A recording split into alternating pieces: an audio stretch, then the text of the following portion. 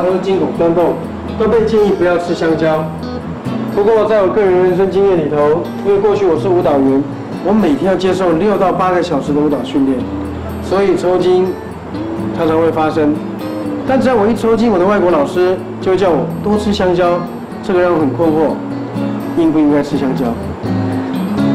就在几次实验性的吃香蕉行为之后，我发现症状舒缓了，所以我决定吃香蕉。但要不要吃香蕉，还是要看个人体质因人而异。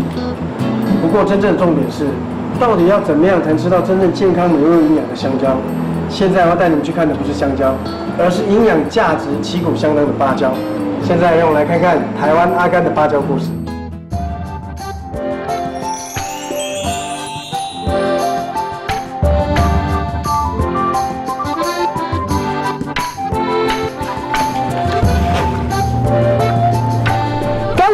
正准备采收芭蕉。他说，在早年台湾以出口香蕉赚取丰厚外汇的民国五零年代，蕉农身上的香蕉汁可是身份的象征。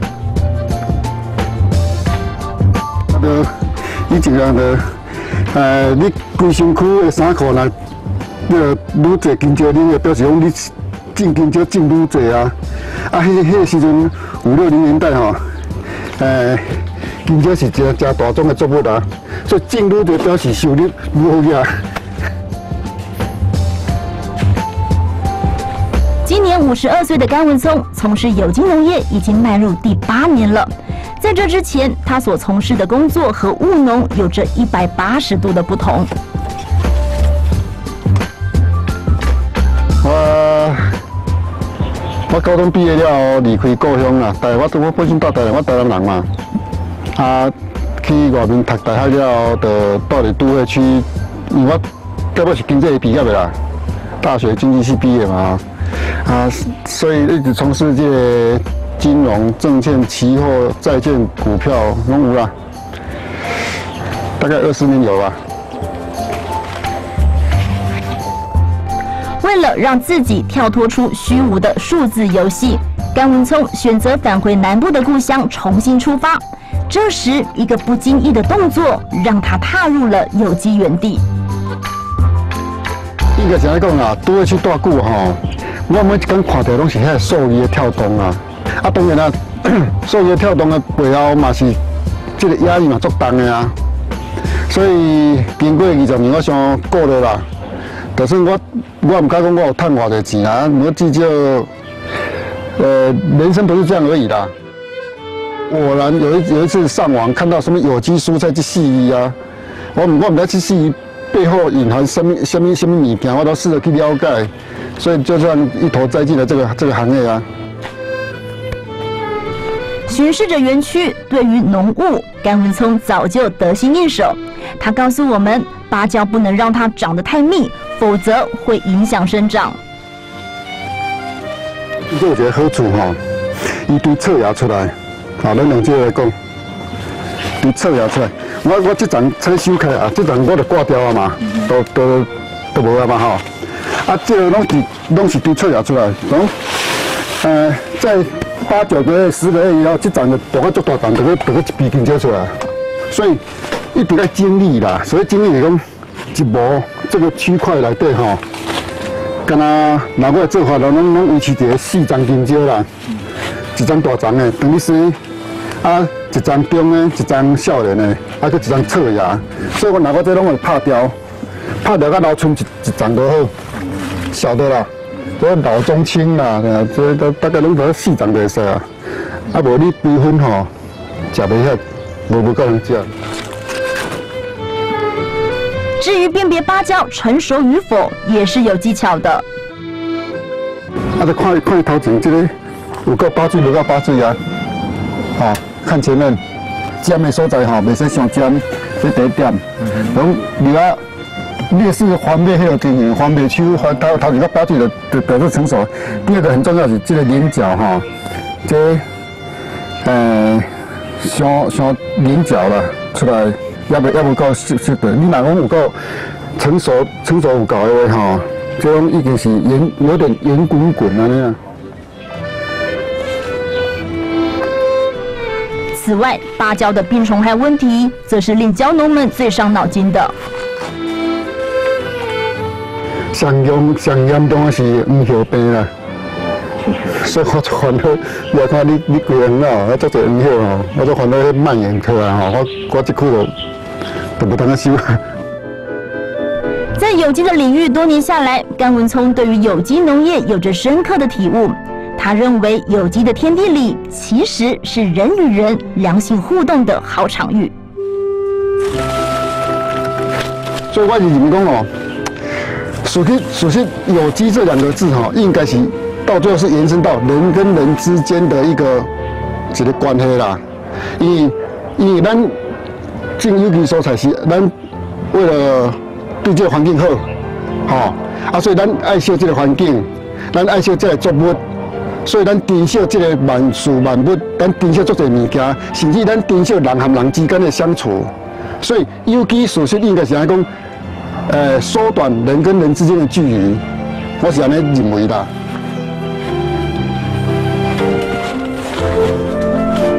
现在的甘文聪除了是一位有机农民，他更投入行销的领域，因为他要帮辛勤的有机农友们拓展通路。以我伫这行业只呃慢慢制作做者生产者。因这学里上这学上因种出物件，我拢比我加足好诶，啊，不过足可惜，拢卖袂出来。啊，不过我若加减去甲这这农友吼，诶，农产品甲顺利甲卖哦，这消费者诶话，无定着我认安尼，等到规个，我对有机这个这个这个迄个作用，等到愈大。我这这八年来我。我对这个这有机这两个字的体验哦，确实实在有啦。至少这八年来，我心情的轻松，还是讲这个笑容，比这二十年，比进前二十年继续多多啦，这是一定的啦。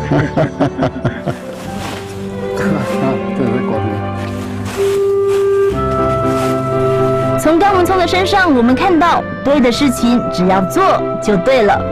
祝福他此后笑容满满，福云广植。阿甘说：“为何说到关庙，你就会想到凤梨；提到麻豆，就想到文旦；想到岐山，就想到香蕉。他相信四地四种是天地间唯一不变的真理。但是我们的老祖先也是这么认为的吗？现在让我来看看老祖先的智慧。”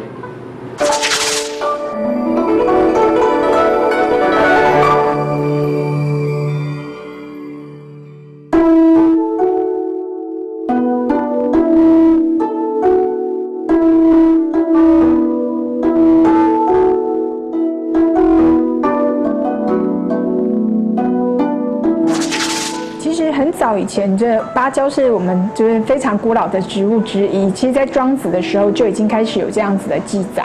那为什么叫芭蕉？其实芭就是干的意思，就是说它的外皮是干燥的。那蕉是甜的意思。那但是到了清朝的时候，才会有香蕉或是芭蕉这样子的名称。那之前都是用大蕉这个名字这样子。那芭蕉的话，它一般来讲就是对于我们的就是润肺、润肠、生津、止渴。那但是它的性比较寒一点，所以说如果说你就是容容易腹泻的人，就比较不适合这样子的食物。一般来讲，就是以芭蕉来讲的话，呃，我们就还是第一个，就是我们看它的大肠，它大肠火重不重？什么叫大肠火？就是说，第一个就是我们上厕所的时候，它可能排便有困难之外，就说不论它喝多少的水，它是如厕的情形都不是这么的完善。除此之外，就是说它的口腔就是口舌干燥，那它常常我们摸它的身体的时候，就会觉得它体温比较高。那我们这样讲说，这种人就是大肠火比较重。那大肠火还有比较重的人，另外一个特征就是他会觉得他嘴巴会觉得有种灼热的感觉，那这个灼热可能也许不是说你含冰块或是喝水就可以缓解的，那这个人的时候就可以非常适合芭蕉这样子的东西。一般来讲，芭蕉的话就是直接生吃就可以。在古代的话，就是芭蕉的花、芭蕉的叶子还有芭蕉的根都会入药用。那因为现在就是那个添加物和一些农药比较严重，所以说可能这些东西我们现在就比较少在应用。我们一般来讲就是说脾虚的人比较不适合用香蕉或芭蕉这种东西来做进补。那在食用的方面的话，最好的方法就是说你吃到我们说重病急止，像这种比较寒凉的、寒凉一点点的药物或是食物，就是说什么叫重病，就是说病好了我们就不要再吃了这样子。那如果说最近一阵子就是说可能在排便如厕上面比较困难的话，我们还是可以用来再来吃。但是记得就是只要是说，哎，你如厕方面已经没有什么问题，那最好就不要再吃。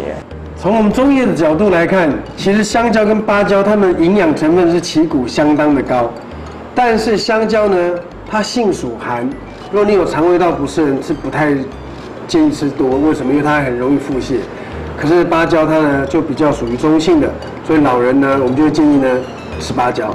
那像芭蕉这样的水果要怎么做料理？我们还是要有请阿柱师。哎，阿柱师欢迎你。今天不要跟我说是要做香蕉派吧？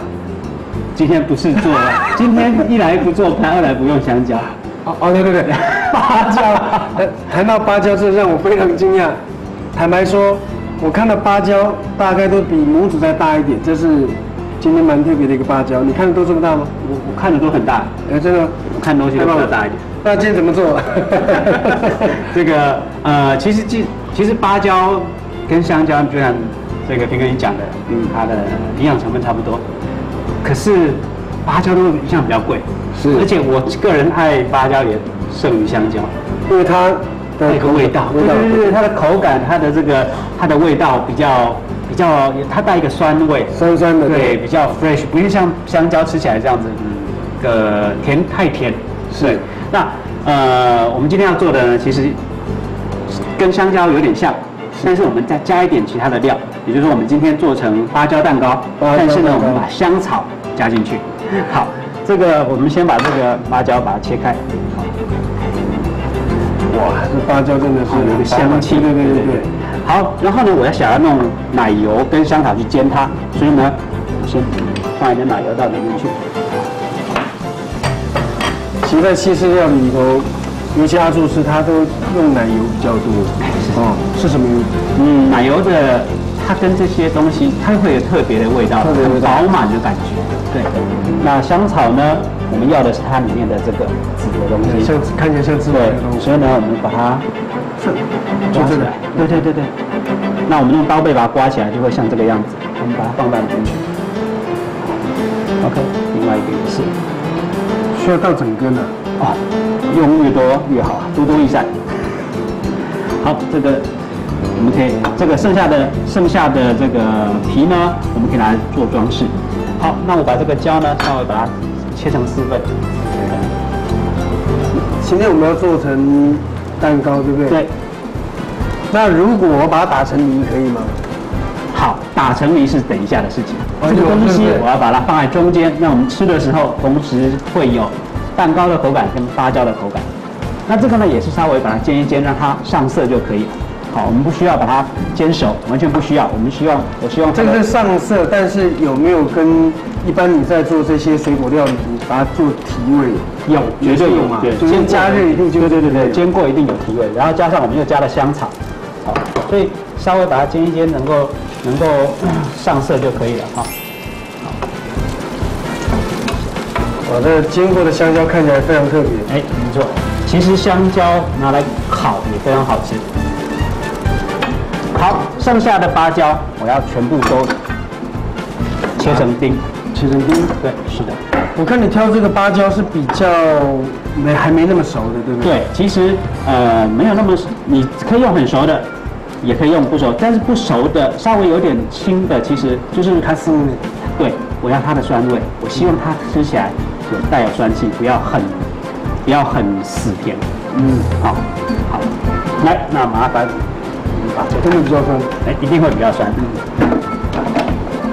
好，我们把我们的香蕉芭蕉放到里面去。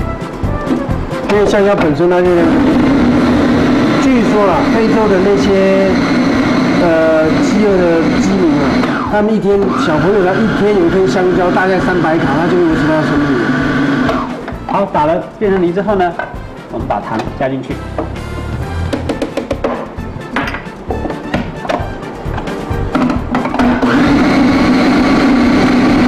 蛋糕现在做成甜的吗？哎，基本上大部分都是甜的，就是少数少数。你有没有试过把它做成咸的口感？这个吗？嗯，倒没有，倒没有。但是说到盐，其实我们会在它的馅料里面加一点盐巴，对，提味。提味，完全是为了提味，所以我们加一点点盐巴下去。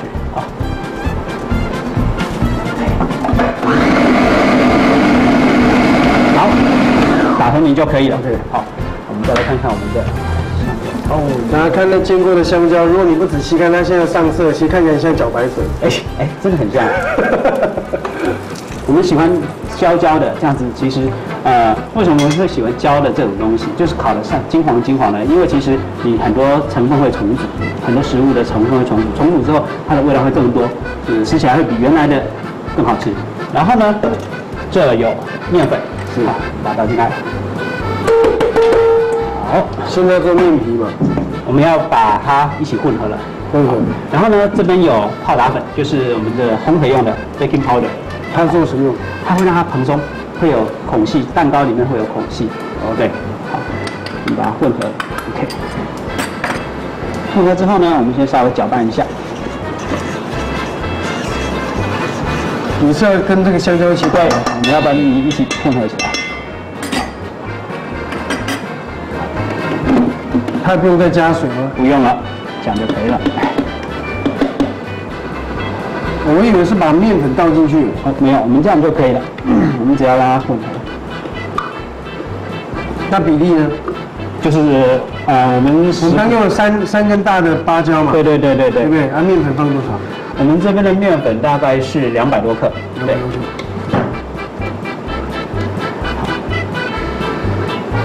就不用了哈，那个不用了，谢谢。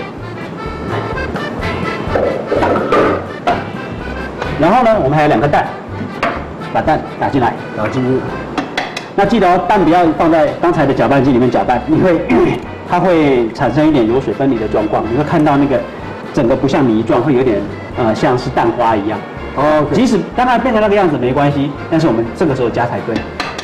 就是先我们要先把香蕉打成香蕉的泥，对，然后跟奶油混合奶油混合打完之后呢，再把它放跟面粉一起对，混合。那混合的时候，在搅拌之前再打蛋。打把蛋加进去就可以了。哦，那这个面粉其实如果就说我们在做这种蛋糕类的东西，你只要用到面粉，最好都要先过筛，过筛让它就是让它更平均，因为面粉啊泡打粉可能会结块，那你如果有过过筛，它会比较比较细致，好、不会有结块的状况。基本上把它拌完之后，这样就可以。其实说老实话，这样子就非常好吃了。这个这个是，你你你看，拌完之后大概要这样的状态。你说这样就很好吃，这跟面粉是生的怎么吃？面粉是生的也可以吃啊，你你可以偷吃看看。你为什么每次要叫我偷吃呢？我光明正大吃，两台机器在这，我怎么偷吃？其实味道就已经很浓郁了，对不对？我觉得这可以当果酱啊。哎，这还是烤一下比较好啊，对对对，少吃可以的，多吃不行。对，哎，那如果我要做成香蕉的果酱，其实我不要放面粉就可以吃啊。如果你是香蕉果酱要煮过，要加糖，要加香蕉，我再去煮，要打成泥再下去煮，OK，。对，好，我们拿出我们的模子，好，先填一些进去。那当然，如果今天的模子是这个，我们今天这个模子是铁氟龙的，它表面有层铁氟龙，它会不粘。不粘。对，所以你可以直接就加。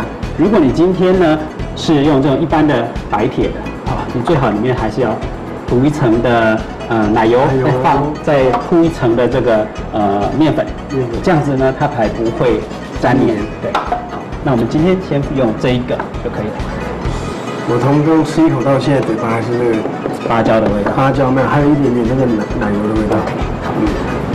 我们先填一些进去，然后呢把它放平，放平，然后把它铺平。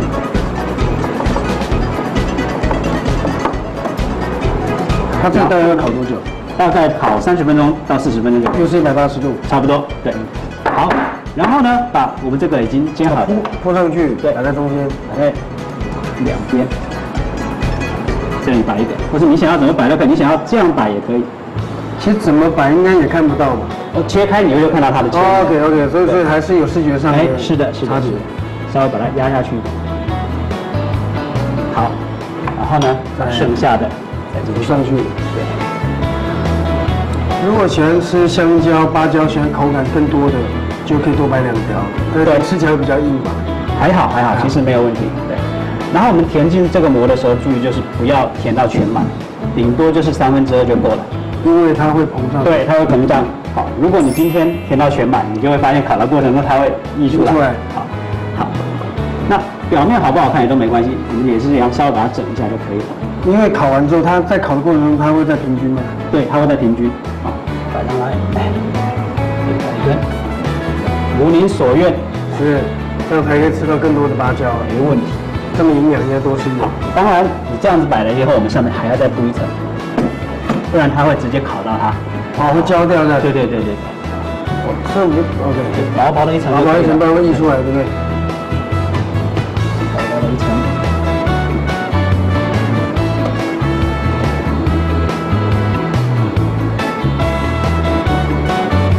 好，接下来动作让我来了，我知道了。好，你就把它全部铺平就可以了。不是这样就好了。对啊，敲一敲，敲一敲。哎，有架势了，有架势了。看，又出塞啊。好一百八十度，而且要先预热好，预热好对，那大概三十到四十分钟，你就看它慢慢的蓬起来，表面到金黄就好了。OK，太棒了。这个呢，就是烤好而且已经冷却的。大家要注意，不要烤太久，反正这么长，一烤完之后舒服。有人谁招啊？没有，这种蛋糕其实啊、呃我们有另外一个名称啊，叫做常温蛋糕。常温蛋糕。对，那法文叫做 voyage，其实就是那个 voyage 就是旅行的意思。嗯也就是说，这种蛋糕你烤好烤好之后，你可以在常温之下保存大概一个礼拜。所以你要出去旅行的时候，你就是你也不用有冰箱，你就把它装好带出去，要吃的时候切开就可以吃了。那呃，比如说可以摆一个礼拜，那是应该在欧洲啊，或是他们比较干燥吧？在台湾这么潮湿，可能吗？其实还 OK，还是 OK 对对对，你只要不要太太潮湿就可以。所以你不吃的时候，其实你就是用密封封起来就可以了。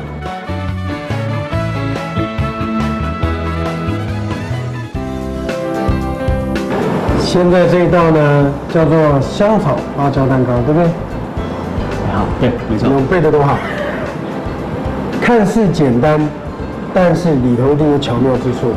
这个蛋糕就是看起来不是很好看，因为烤起来它一定会表面一定会上面这样破开，但是吃起来非常好吃，而且最好吃的时候是烤好之后放了两三天之后才有最好吃。所以我们现在吃到只有它大概八成，放两三天要不要冰啊？不用，就是常温，你烤筋膜包好，放在常温，你不要被蚂蚁偷吃了，你不要被蟑螂偷吃了。嗯，两三天之后它会非常好吃，所有的甜味、水果香气都会全部的释放出来。对，为什么这么像？因为我们啊，我们打了一堆的芭蕉在里面我啊。们粉下的够重啊。啊，对对对对对。既然叫香蕉蛋芭蕉蛋糕，芭蕉就要够多，味道才会出来。哇，这是烤过的芭蕉。不是很甜，但是味道可以拉很远。是，对。味道可以拉到很远，这句话你没听过吧？这是文人才会说的。拿毛笔来。